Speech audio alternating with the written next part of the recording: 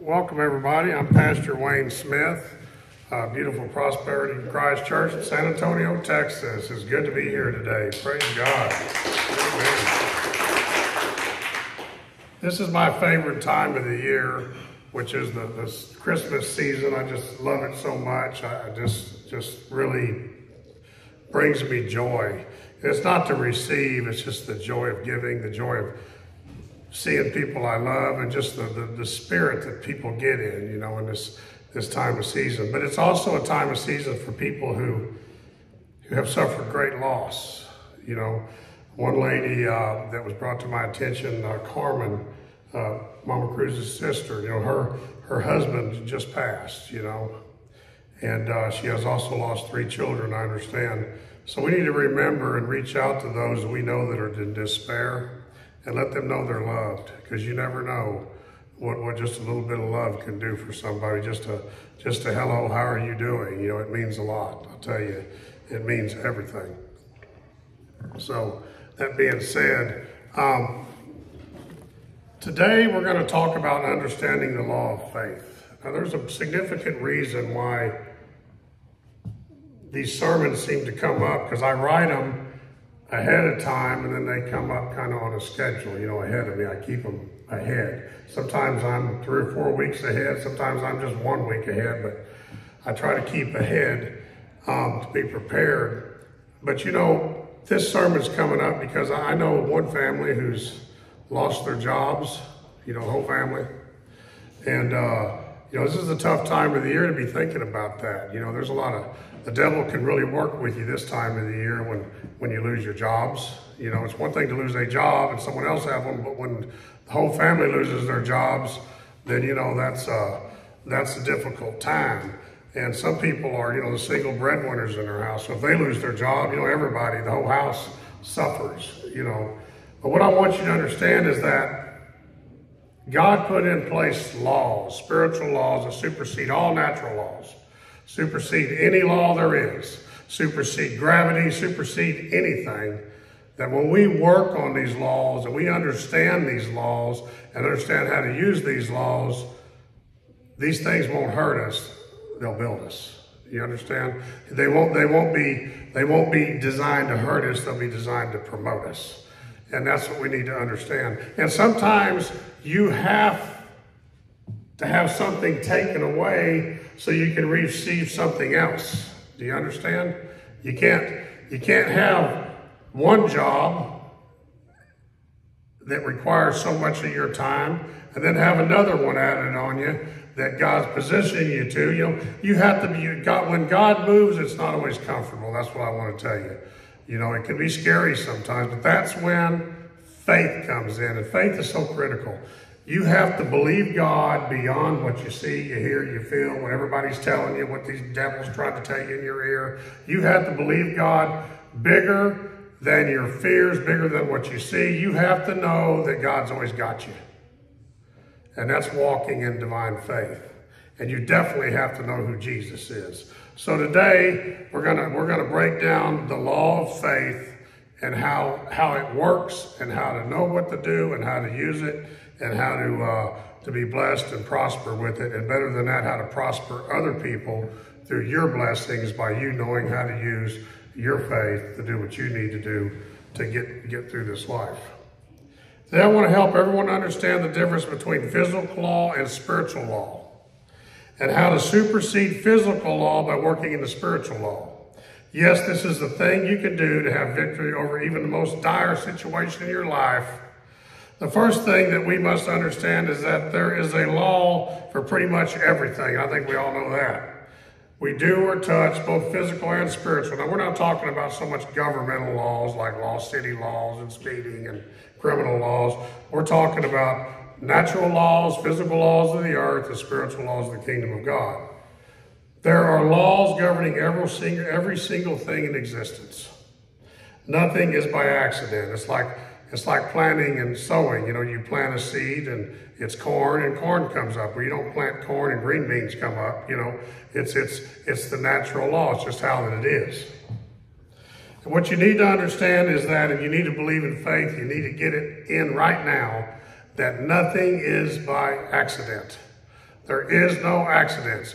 There is no, there is nothing that, that, that you do that it comes against you that is by accident. There's some force behind it, okay? Now our job is by faith to keep that force to be God. But when we're not in faith, there's many other forces to be delighted to get in there and take away everything that God gives you. There are laws of the world of the spirit and there are laws of the world of the natural. For example, we don't float because we have gravity, right? So we walk with our feet firmly on the ground.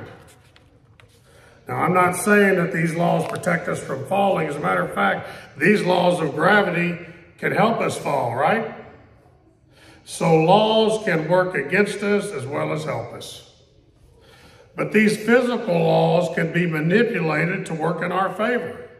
And there's a reason. But for instance, the law of gravity is used when flying is used when flying an airplane. But there is another law that supersedes the law of gravity that is used. This is the law of lift which is also a natural law. So you can supersede gravity by using the law of lift. And that's how planes fly. They use the law of lift. When this law is used, you can fly. But you must know something about the law of gravity to use the law of lift property. You can't really understand one without the other. You don't do away with the law of gravity, you just supersede it with another law. Do you see that? And that's what we're trying to get to, to teach you about the spiritual laws. It's like the law of lift against gravity. You can use it to supersede against natural laws that are coming at you. Sickness, despair, all kinds of problems in your life. These are natural laws that govern the natural and physical world. And it doesn't matter if you agree with lift or gravity or not, they're there. It makes no difference. We need to understand that spiritual laws are also here. You may not see them, just like you can't see gravity and lift, but it does not make any difference. They are there. You understand that? You don't think they're there, just get up on top of your roof and jump off of it, and you'll find out real quick which one is gravity and how lift's not helping you because you're not following lift's laws. But the spiritual world and its laws are more powerful than the physical world and its laws. Why? Because the spiritual laws and the physical laws are both created by faith, which is the spiritual force. God is spirit who created all matter. He created it with his own force of faith. So God's spiritual laws were before natural laws and they supersede any natural laws. Hebrews 11:3 says, "By faith we understand that the worlds were framed by the word of God, so that things which are seen are not made from things which are visible. The key phrase here is by faith. The substance God created the world and the universe with was faith, his faith and his work. The law of gravity would be meaningless if it were not real. In the same way, a spiritual law would be useless if the force of faith was not real. Faith is a real force. Faith is a spiritual force. It is spiritual energy and power. The faith of God, the words of God, manifested into what he said they would be. He said, let there be light, there was light. What God, so his words were the, were the spiritual laws. It is the spiritual force of faith that makes the laws of the spirit world function. Just like gravity makes the earth function, faith is the, the spiritual force that created the universe by God and will also create the situation that you need to be in. When the fourth of faith is put to use, the laws always work and function the way God created them to work. The way God said they will work. It always works every time, no matter what your situation is, whether you think they're there or not, they work. Romans 8 2 talks about the laws of spirit and life.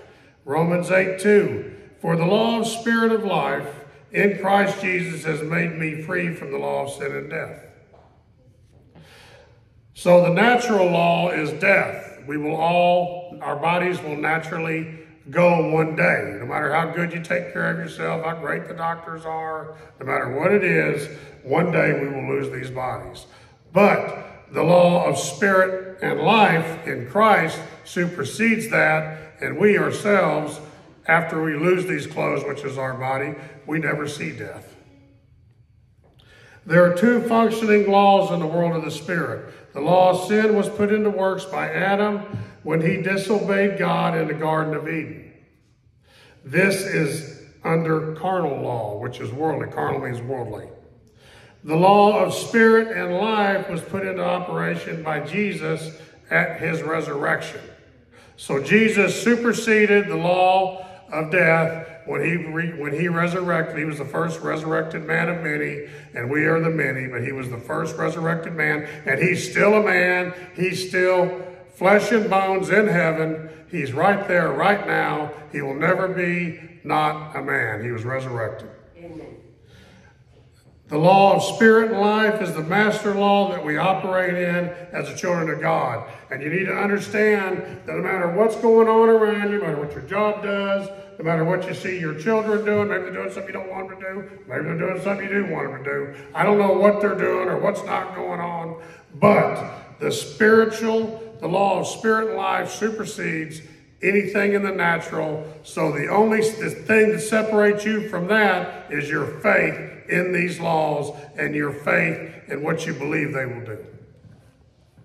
So you can change your situations. You can change things. It supersedes the law of sin and death. What causes it to do this? It's the law of faith. There are certain things which combined will bring results that God purposes and intends. Example, salvation is available to every person on earth because the Word of God says that it is.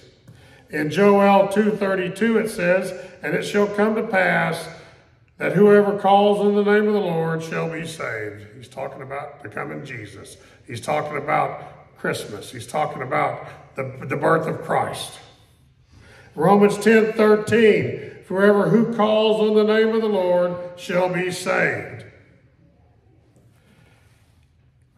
So if it's written in God's word, it is a law that supersedes natural law.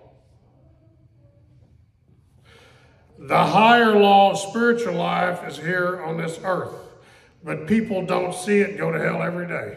They don't understand spiritual law. They're not taught spiritual law because no one teaches them. It's because of their lack of knowledge. That doesn't enact the force of faith in them. They don't even know what the force of faith is. Do you realize how many people go to church every day and are never taught what faith can do? They're never taught. They're taught out of miracles. They don't even believe in miracles. They don't think God heals. They don't think any of these things. They just don't believe it. And you know why? Because they're not taught it or they're taught against it. I told a story, and I said it the other night in Bible study, and I've said it many times. The story where uh, Sister Sabrina was talking about this church, this little church, and and uh, matter of fact, one of the blessings in my life, one of the greatest blessings, is I met Brother George there, and we've been inseparable ever since. He's as my son, you know. I love him so much, and uh, and I met him at this little church out in the country. My wife and I were driving by. I was not a man of God yet, but I was guess I was on my way, didn't realize it. And uh, we were heading out to a church out in Lytle we went to, and we kept, and I, I had to pull into this church. God said they needed something fixed. It was burning in me so hard I couldn't even understand it, you know. And uh, so I did. Well, they weren't open yet. No one was there. So we turned around and headed back out the Lytle. So uh, I turned and we got down the road a couple miles. I had to turn around again. God said, do not go any further. I turned back around, went to the church.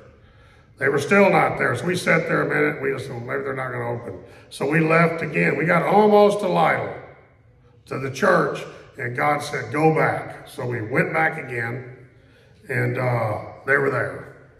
Um, I went inside the church through the side door, kind of like this side door they had, and everybody, there was people, probably 30, 45 people in there sitting.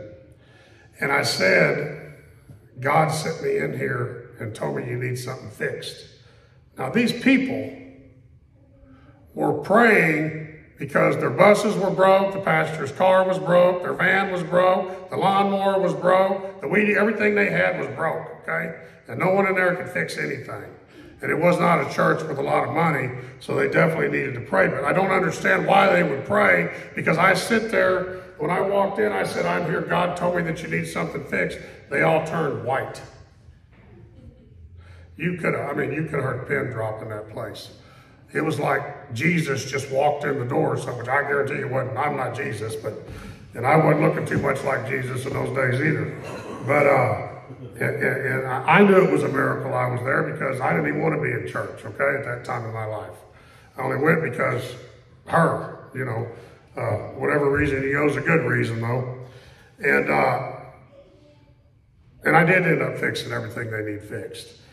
But you know, the, the pastor turned around and taught them that that wasn't a miracle. I'd never been in there. I had no reason to go in there. I wasn't heading there. And I definitely wasn't trying to do nothing for God for free in those days, okay? So I can tell you right now, but he taught them that wasn't a miracle. Do you understand how we teach people away from God? Now, you know, and I know, I definitely know it was a miracle. In those days, for me to do anything free for somebody was a miracle, I promise you. You know, uh, uh, I was real selfish in those days. Uh, just coming, just just starting to come out of addiction. I mean, I wasn't there. You understand that? But I mean, to think about this, this is the way our churches are taught. This is what we're getting taught in our churches. This is what the average Christian knows. They don't know the power of God. They don't know miracles exist. They don't know God will save their family, restore their family, restore their finances, and bring them into a level of, of, of glory that they've never known. They don't know this. All they're taught is the afterlife. And it's not even the afterlife, it's life to life. The, the Bible clearly says to be separated from God, to be separated from the body is to be present with God. What does that mean? Straight there, okay? We must tell people. You have to let people know. Just because they say they're a Christian don't mean they know anything. They might know more about the menus at McDonald's than they know about Jesus and the power of God. But miracles do exist. They do play prominent positions in our life, and they do open doors that no one else can open, and they'll close doors that need closed too. Don't look at everything you think going wrong as it's something bad, because when God closes a door, it's going to close hard, I promise you. You're not going to go back through it again. That's how God works. Don't pray for one thing and then complain about how he's doing it, all right? Amen? You need to trust Him. It's called faith.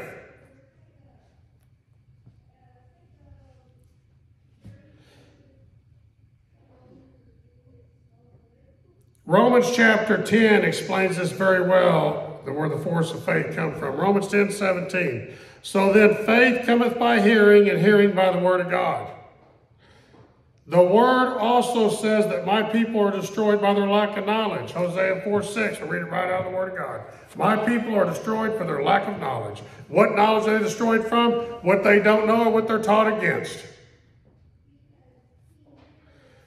Why won't it work? Because the law of salvation hasn't been put to work in their lives just like anything else. It only work when it's put to work. You can have the best chainsaw made in the world, the most expensive sharp chain, ready to go, everything. But if you never start that thing and hit, it hit any wood with it, it doesn't make any difference, does it? You're not going to cut any wood if you won't put it to work. And it's the same with your faith. You will not reap the benefits of faith. You'll never, you'll never have wood for the fire if you don't let your faith start ruling your life and start moving in your life. You need to put it to use. You put it to use by telling other people. You want to get blessed. You want to come out of dire poverty. You want to come out of sickness. You want to come out of despair. You want your family to, to reach glories and levels you think never dreamed possible. Start telling people about the power of Jesus. You want rewarded. There's no greater reward you'll get from heaven than that, than anything you can do. And that's a spiritual law. That's a law of God that you can stand on. They may not come today, but one day they'll come if you plant that seed. That's just how it works. Sometimes farmers will plant crops and they're in drought, and then it'll rain. Then next season it'll rain before they get a chance to get there and till it up. Their crop they planted last year is coming up. That seed's still there. The spiritual laws also govern prosperity. There are certain laws of prosperity revealed in God's Word, and faith causes them to function. They will work every time when they are put to work. Every time. You can't give into the kingdom of God without receiving something back. It's impossible. And it will be multiplied every time. Jesus said seven and a hundred times. Seven. You will be multiplied every single time you give into the kingdom of God. When you tithe, your storehouses will be running over. He promises you this. When you plant seed in, into other things, that's above your tithe. You'll be rewarded for that. The level of what you need is the level of what you give.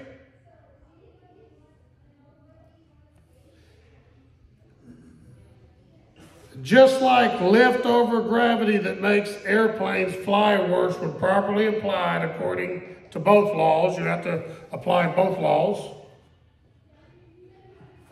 You use gravity to push lift off. You understand that? You have to push off of something. But they will also stop working when they aren't worked properly. You don't believe that? Get in a helicopter and turn it off. See how quick that works. That'll work real quick. It's the same with faith. It only works when it's worked with property, when the laws are applied properly. The Word of God is established forever and it is law. That means nothing supersedes it, nothing can overcome it, nothing can beat it, nothing trumps it. It is law. It is the way that it is, and it's the highest law that there is. And that's the level we need to work on. We need to work in God's law. In 1 Peter 1.25 it says, But the word of the Lord endureth forever. When God speaks his word, speaks his words, the law in the world of the spirit, which always supersedes the natural. Jesus made this clear when he said that man should not live by bread alone, by every word that proceedeth out of the mouth of God. That seems confusing, but it's real simple what he's saying. I'm going to read it right out of the Bible. Matthew 4 4. But he answered and said, It is written, Man shall not live by bread alone, but by every word that proceedeth out of the mouth of God.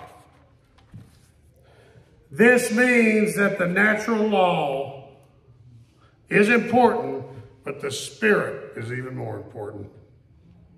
Because God's word always supersedes the natural. That's what Jesus is saying.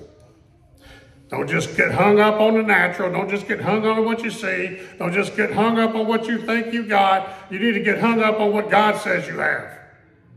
If it's in that word, it's yours. And if you know it, that's called knowledge. Faith cometh by hearing, hearing by the word of God. If you'll apply what you hear into your life, there is no way to fall.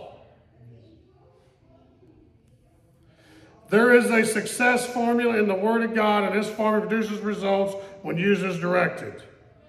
We call this the mountain principle. Mark 11, 23.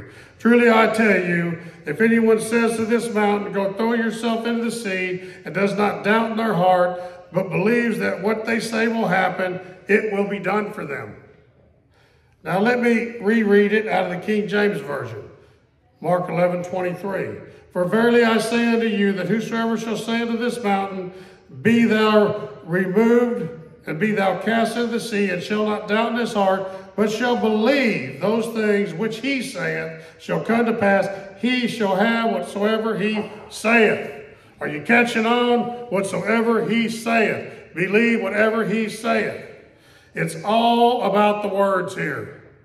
Jesus is telling us that you, with the force of faith behind these words, things happen. Stuff starts moving. If it happens to be the mountain in the way, what's going to move to? Jesus introduced here a principle of spiritual law that works every time it is properly applied. And the whole secret to success in this is properly applying it. And how do you do it? Just like we read. You need to read Mark 11, 23, and you need to learn every word in it, and you need to rehearse it in your heart like it's your own child's name. It may not make sense to the natural eye or the mind that you have whatever you say, even though it may be contrary to what you can see and what your physical eyes see. But Jesus said it, and according to, to God, that makes it law. And what does that law? It supersedes every law in the universe. There is no law greater than the law of God. How does it work for you? And I'm going to tell you exactly how it works. When you act on it and put your faith with it by saying it with your mouth, then don't doubt in your heart, and under any circumstance, don't speak against it. Don't talk about God's going to bless us. We're going to prosper through this. We're going to do better than did we did before. Then a minute later, talk about how we're going to pay this. Yeah, I know how you're going to pay. God's going to help you pay it. That's how you're going to pay it. You're going to have more than enough to pay it. So don't ever speak against it. Don't speak against your healing. Don't speak against what you want for your children. Don't talk negative about what they're doing. Talk about who they're supposed to be in God. My wife, bless Sister Smith, bless her heart, Sister Sabrina. When I was not a man of God, she literally claimed me as a man of God to God. You understand that? She said what she wanted me to be, what God, what she, what she desired me to be, and what she, what she really saw, which was a scoundrel. Okay, she understood that I was a man of God, and she claimed I was a man of God until I was a man of God. I think she got a little more than she bargained for, but that's just how it is. All right. But the reality is, she spoke me into existence. Do you understand that? She spoke me into existence. She spoke me here. She did not know she was speaking me here. She just wanted a man of God. She knows she's going to get a man of God. But she got exactly what she said. God gives you more than even you ask for. Start speaking what you need done into existence and quit speaking what you don't want done into existence.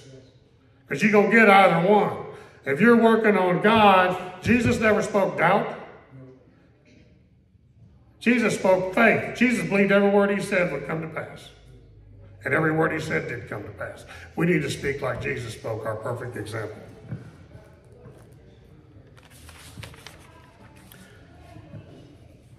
The laws of prosperity work the same as the laws of salvation, even healing and so on. We are dealing with the same God and the same word and the same Jesus. Nothing's changed. So it's some so it's the same faith, just repurposed to push into a different direction. Satan is the thief who tries to steal the force of faith from you. Why? So you will fail and not trust God. It's the oldest trick in the book. That's just what he did with Adam and Eve. He convinced them that maybe God wasn't giving them all they had coming.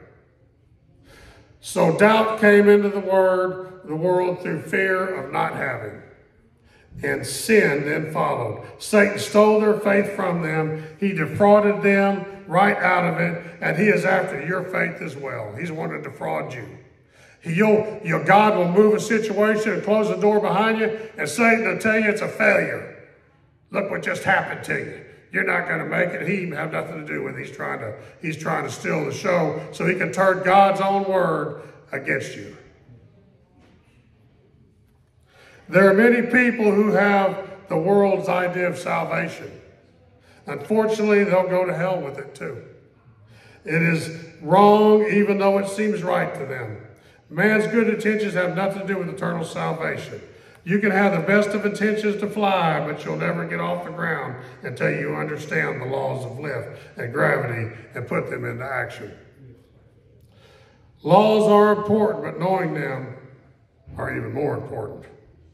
You don't believe that, go down a road that you don't know the speed limit on and, and be speeding and find out how important it would have been to know that law when you get pulled over and get a ticket. A farmer can plan to have a great crop, but if he never plants any seed, he won't produce a harvest.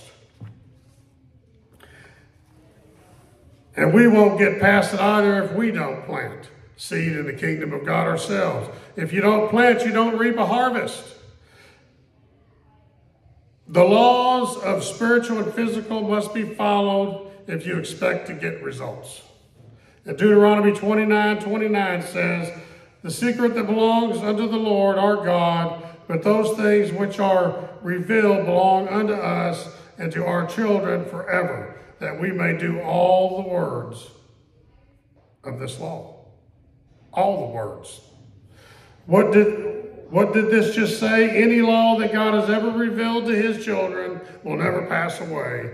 They will work every time they are put to, when they are put to work properly.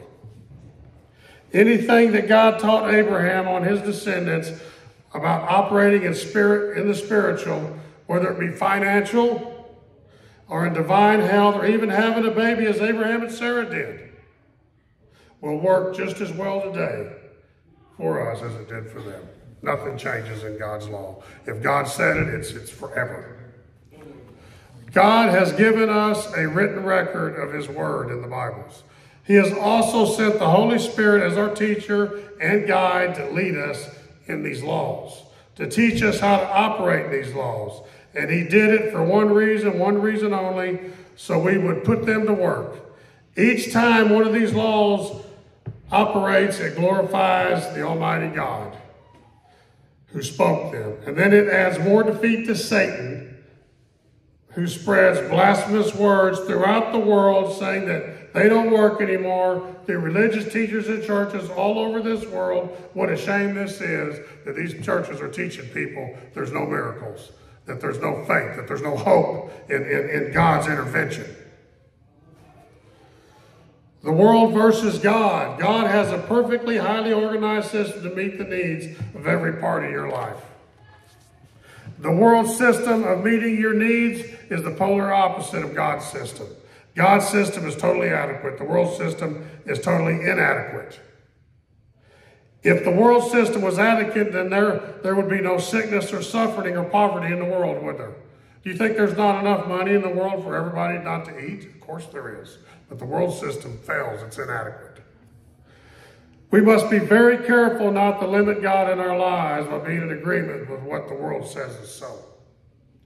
It's not that we are not seeing what the world shows us or denying it. We're not idiots. We, we can see what's going on, okay? We're not blind. It's that we have the ability to overcome it by the word of our testimony. Jesus said that you will have what you say, and this is the word of our testimony by faith. It's what we say in faith. The problem is that we haven't known much about the laws of the Spirit and life in Christ Jesus. We haven't known much about them. And the lack of understanding and knowledge has caused major issues and problems in making this law function for our benefits.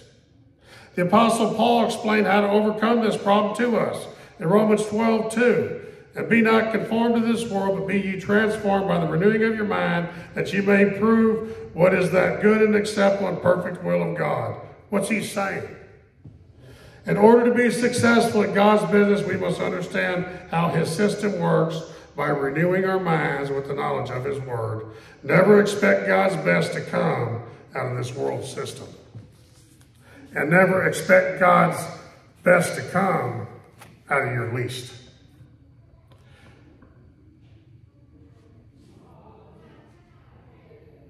When we think our jobs and retirements are God's system, they are not. He may work around them and through them in order to reach you. He'll do what he can, but it's always below his best for you. Seed time and harvest always brings out God's best provisions for you and your family. You reap what you sow. When you sow into God's kingdom, with your time, your money, and your energy, you will reap much. The most important priority in standing in studying prosperity is that you never think of it from a carnal or a worldly viewpoint. You don't think about how much you have in your account, how much you can get, how much you can have, what a big house you can get, how you can get the best car there is. We must train ourselves to think in line with God's word because if you're not careful, when you think of the laws of prosperity, all you will see is money. Only a very small part of prosperity is money. True prosperity is God manifesting himself to us in his word. The only way that you can have God with you on a daily basis is through his word in Jesus. We should never judge by our feelings or emotions, but only by what the word has to say in his word. Let's take a look at finance, which is the biggest problem on earth. Sickness is not the biggest problem on earth. There are plenty of people who are healthy and head over heels in debt to the world's economic system. They don't have a thing wrong with them. Healthiest might even be a track star or football player, right? You never know. We find that the world has a system that is selfish and complex.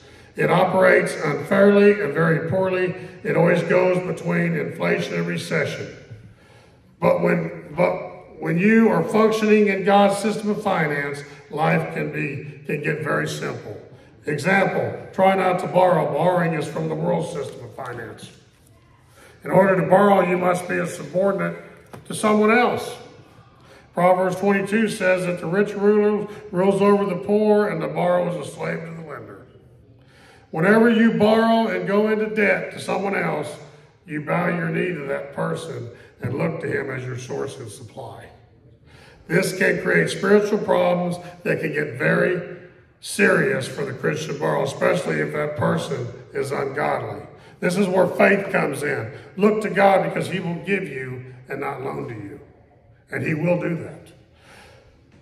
Believers need to learn how to operate God's system, not the world system.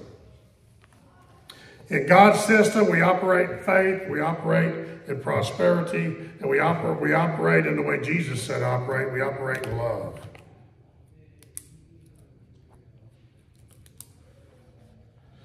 It is not easy to learn, but as you search the Word, you will have the desire to know God's system and how it works in your favor. When you begin to operate it by live by faith in every area of your life, God will step in and make what you don't know become what you do have.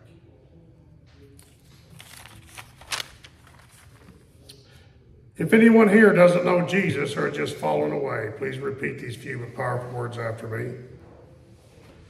Lord Jesus, I repent of my sins. I ask you into my heart. I now make you my Lord and Savior. Amen. Thank you. You may rise.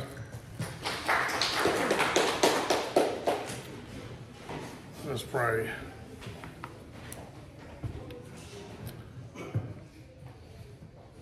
Father God, we come to you right now. We thank you for this opportunity to come together, Father God. We thank you for the, the, the message to get out, Father God, for people to understand that you still are the God of miracles, Father God, that you still are the God of power and you are a just God, Father God, and you take care of your children just like any good father would.